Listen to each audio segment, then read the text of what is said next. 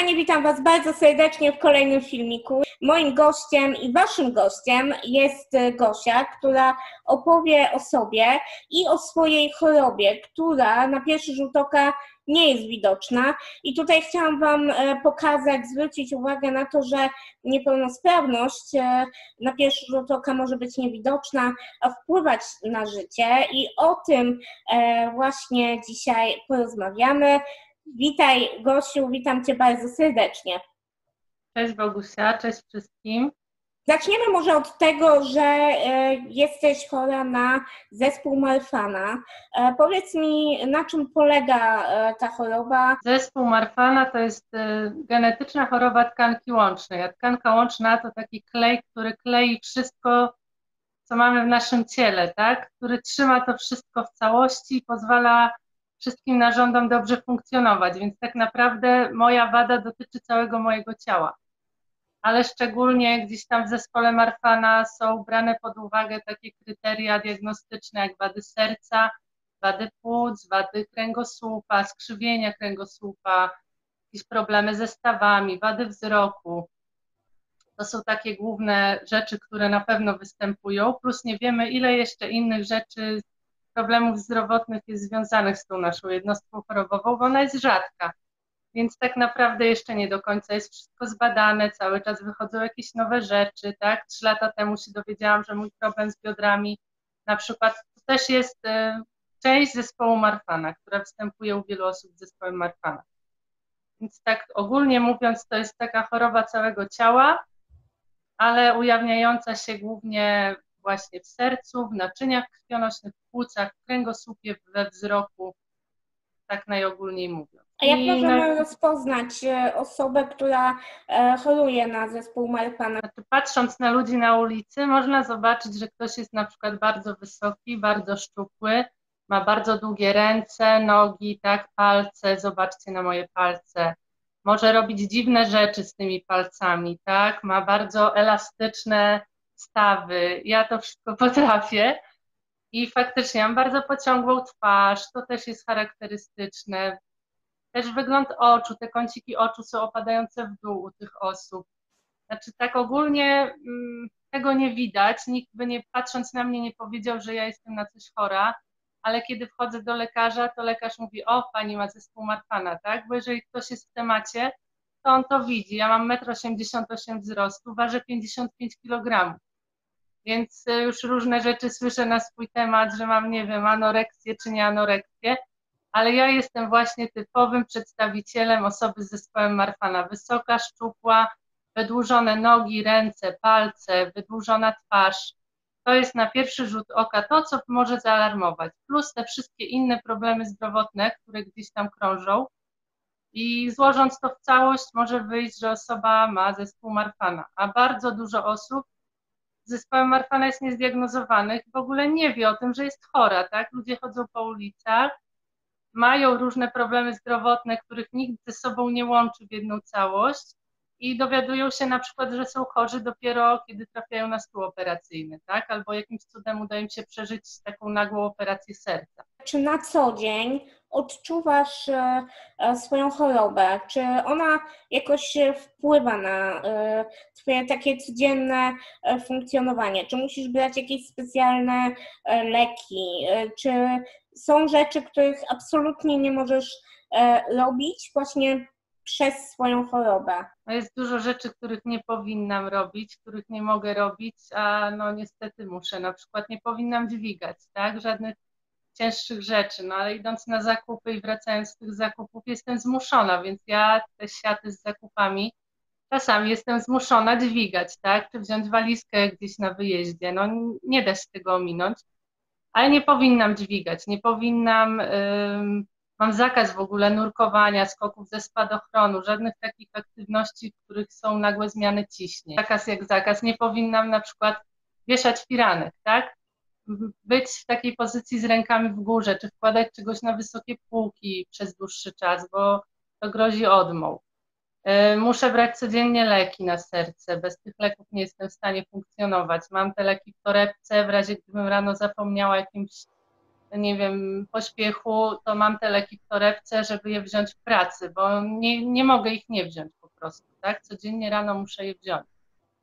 E, tak poza tym, ogólnie patrząc na mnie, można powiedzieć, że moje życie nie, nie różni się niczym od innych. Pracuję zawodowo, mam męża, pracuję w przedszkolu. To jest praca trudna i ciężka czasami, tak? Bardzo też fizycznie ciężka momentami. Nie dość, że pracy, to jeszcze wracam do domu, pracuję dalej, bo praca w przedszkolu to jest też przygotowywanie zajęć w domu. Robię różne jeszcze inne rzeczy w domu. Nie wiem, wyjeżdżamy na wakacje, my bardzo dużo podróżujemy, więc pod tym względem wszystko wygląda normalnie, ale na przykład, no wracam z pracy, czasami jestem bardzo zmęczona, tak? Już jestem taka zajechana, jak to się mówi, no bywa. Wiem, że i zdrowe osoby mają takie dni, więc nie wiem, czy to jest związane, czy nie jest, ale faktycznie ja się męczę szybciej. Nie wiem, biorąc pod uwagę kierunek wyjazdów, nie wyjeżdżamy sobie w dziką głuszę, puszczę, gdzieś nie wiadomo gdzie na drugi koniec świata, tylko musimy jechać w takie miejsce, w którym w razie czego będzie szpital, w którym w razie czego dostaniemy pomoc, bo w każdej chwili może się coś zadziać z naszym sercem czy z aortą, w każdej chwili może u nas y, powstać tętniak, tak? bo to jest najgorsze w tej chorobie, że powstają samoistnie tętniaki albo rozwarstwia się aorta. To jest zagrożenie życia, które wymaga pomocy natychmiast.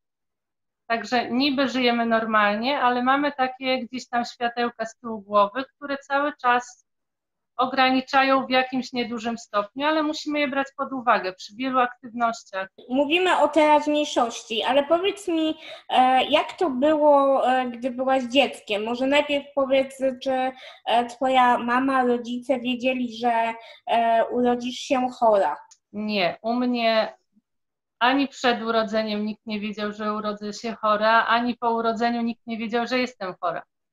Mnie zdiagnozowano w wieku pięciu lat. To i tak jest bardzo wcześnie, bo mówię, dużo ludzi dowiaduje się o tym, że choruje w jakiejś takiej kryzysowej sytuacji, tak? Kiedy już naprawdę te problemy zdrowotne u nich są na ostrzu noża. Ja się dowiedziałam w wieku pięciu lat, gdzieś tam podczas y, standardowej kontroli lekarskiej. Ja bardzo dużo chorowałam, bardzo dużo byłam przyziębiona, brałam jakieś antybiotyki, zastrzyki, takie rzeczy. To też jest charakterystyczne, bo płuca u mnie też są trochę inaczej zbudowane.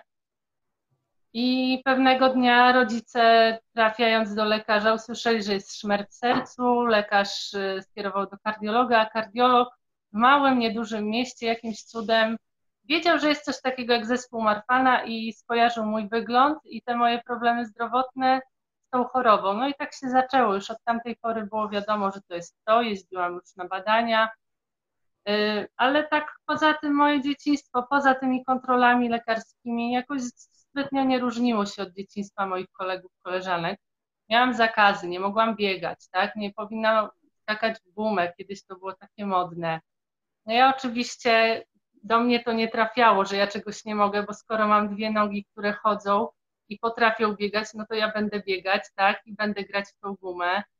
Nieważne, że tchu brakowało i gdzieś tam, no szkodziłam sobie tym w jakiś sposób pewnie, ale, ale przez to moje dzieciństwo było takie zwykłe, po prostu. Rodzice pracowali, gdzieś tam starali się mnie pilnować, ale nie byli w stanie, bo jak dziecko jest pod blokiem z kolegami, no to robi co chce ja też tak robiłam, mimo tych zakazów, różne rzeczy gdzieś tam się działy, czego w sumie nie żałuję, bo to przez to było takie normalne dzieciństwo. Chodziłam normalnie do szkoły. Też różnie bywało, bo i był epizod z karetką w szkole, ale, ale jakoś tam przeszłam przez te wszystkie etapy edukacji. Tak naprawdę dopiero na pierwszym roku studiów okazało się, że muszę mieć operację serca postudiowałam tylko miesiąc i musiałam przez rok te studia zawiesić. A tak poza tym to wszystko szło w miarę standardowo, z ograniczeniami, które były, bo faktycznie szybciej się męczyłam. Nie mogłam sobie powiedzieć tak jak znajomi, jak koleżanki, ale, ale to wszystko wyglądało w miarę standardowo. E, powiedziałaś przed chwilą o operacji serca. E, powiedz mi, czy ona się odbyła i jak ona e, zmieniła Twoje funkcjonowanie? Ja miałam operację w wieku 19 lat z powodu tętniaka aorty. Tego tętniaka miałam od zawsze, odkąd w sumie zaczęto mnie badać w kierunku zespołu Marfana. Czy jako dziecko miałam bardzo poszerzoną tą aortę. Aorta to jest główne naczynie, które wychodzi z serca, tak? To jest ta główna tętnica. która jest bardzo ważna, bo jak ona ulegnie uszkodzeniu, to tak naprawdę no, człowiek się wykrwawia i umiera, tak? Więc ja miałam to poszerzenie od zawsze, gdzieś tam byłam badana cały czas w tym kierunku, to rosło, rosło, rosło. Um, operuje się takie rzeczy dopiero jak już naprawdę jest sytuacja podbramkowa, bo to jest poważna operacja, więc ryzyko operacji jest większe niż operowanie jeszcze takiej nie do końca mocno poszerzonej aorty. No mi się udało jakoś z tą poszerzoną aortą dotrwać do 19 roku życia i być już operowaną w szpitalu dla dorosłych, bo szpitale dziecięce nie, nie bardzo zajmują się takimi operacjami nawet. Więc y, no, w końcu po prostu nadszedł moment, że ta aorta zaczęła się poszerzać jeszcze bardziej i bardzo szybko i w sumie na CITO w ciągu miesiąca, dwóch byłam już operowana. No i to był akurat ten mój pierwszy nieszczęsny rok studiów, który musiałam odłożyć przez. A powiedz mi, e, jeżeli chodzi o przyszłość, e, to e, czy osoby z zespołem Marfana mogą mieć dzieci, czy to jest jakieś zagrożenie? Nie pytam, czy planujesz, bo uważam, że to jest każdego indywidualna sprawa. Bardziej chodzi mi o tą taką medyczną stronę. Czy są przeciwwskazania, czy to jest choroba dziedziczna? Tak, to jest choroba dziedziczna. Jest 50% szans na to, że się ją przekaże swojemu dziecku, jeśli jest jedna osoba chora, jeśli dwie osoby chore, wtedy już jest 75% i ryzyko jest też, że ta choroba będzie jakoś mocniej u tego dziecka uwidoczniona. E, ale osoby z zespołem Marfana jak najbardziej mogą mieć dzieci, mają dzieci, wielu moich znajomych ma dzieci, czasami rodzą się dzieci zdrowe, czasami niestety dziedziczą tą chorobę po rodzicach. E, w ciąży na pewno jest ryzyko dla kobiety z zespołem Marfana, bo u nas naczynia krwionośne są bardzo rozciągliwe już tak po prostu, w normalnym stanie. A w ciąży ogólnie całe ciało jest bardziej elastyczne i wtedy naczynia też bardziej pretendują do tego, żeby gdzieś tam się rozwarstwić, czy żeby powstał tętniak, więc tutaj ta ciąża jest bardziej ryzykowna i trzeba wtedy bardziej na siebie uważać, być pod opieką lekarza, Poród musi się odbyć w jakichś tam specjalnych warunkach, ale ogólnie dużo moich znajomych dzieci ma i decydują się na to. Mówisz o znajomych, więc może y, powiedz mi, y, czy dużo jest w Polsce osób z zespołem Marfana. Czy macie jakieś e, stowarzyszenie, e, jakoś się kontaktujecie, edukujecie może osoby, które nie znają waszej choroby? Tak, mamy stowarzyszenie. W stowarzyszeniu mamy w sumie nie wiem tak do końca, ale około 150 osób zapisanych, czy rodzin, tak, więc w rodzinach czasami jest więcej osób. E, ale ogólnie w Polsce, tak jak sobie dzisiaj nawet przeliczyłam z ciekawości, wychodzi mi na to, że około 7,5 tysiąca osób e, może mieć zespół Marfana, tak? Bo jedna na 5 tysięcy osób, to jest taka statystyka według genetyków, że jedna na 5 tysięcy osób rodzi się z zespołem Marfana.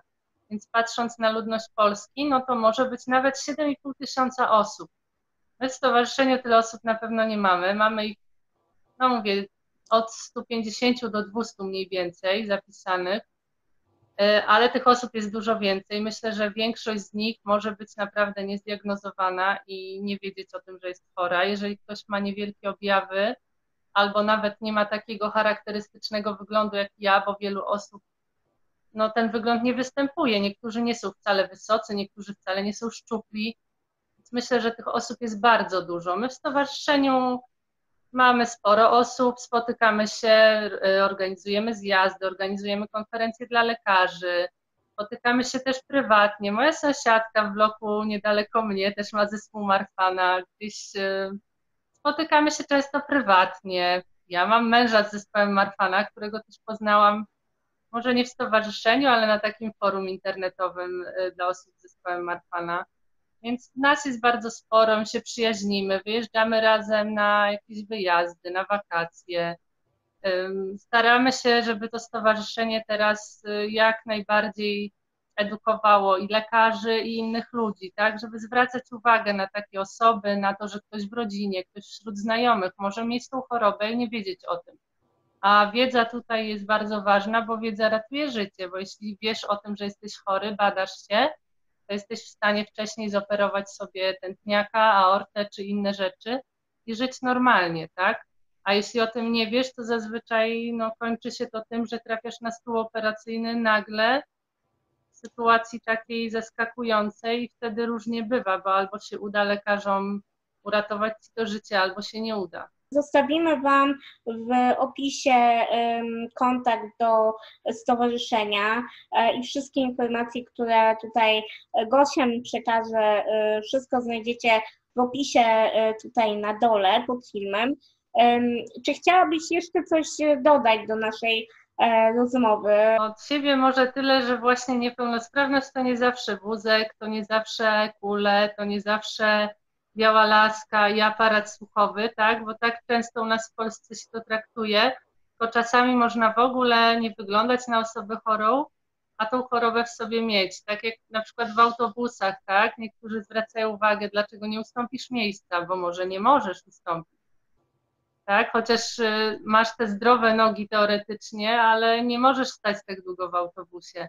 I wiele jest takich innych sytuacji, więc to bardzo ważne też, żeby wiedzieć o tym, że nie zawsze musisz wyglądać na chorego i nawet jak sam po sobie patrzysz, tak, masz jakieś problemy zdrowotne, no ale ogólnie wszystko jest w porządku, czasem warto szukać przyczyny tych problemów i szukać wśród lekarzy, szukać w internecie. No nasi chorzy często diagnozują się sami, więc to też jest ważne, żeby zwracać uwagę na swoje zdrowie i samemu sobie pomagać. Bardzo Ci dziękuję za rozmowę, za poświęcony e, czas. E, jeżeli mielibyście jakieś e, pytania do Gosi, to zostawcie je w komentarzu.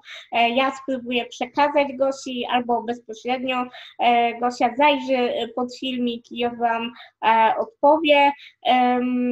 I chciałam jeszcze raz bardzo podziękować za to, że opowiedziałaś swoją historię i dzięki Tobie poznaliśmy chorobę, która na pierwszy rzut oka nie jest e, widoczna, a jest poważna. No, y, I myślę, że ta wiedza e, jest ważna nie tylko dla osób, które są całkowicie zdrowe, ale również dla mm, lekarzy, pielęgniarek e, i tak dalej. Hej.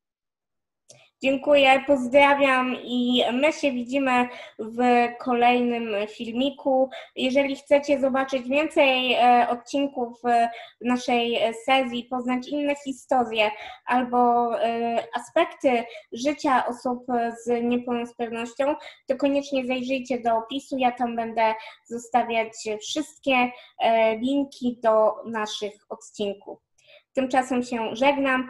Zachęcam do zostawienia kciuka e, do góry e, i pozdrawiam serdecznie.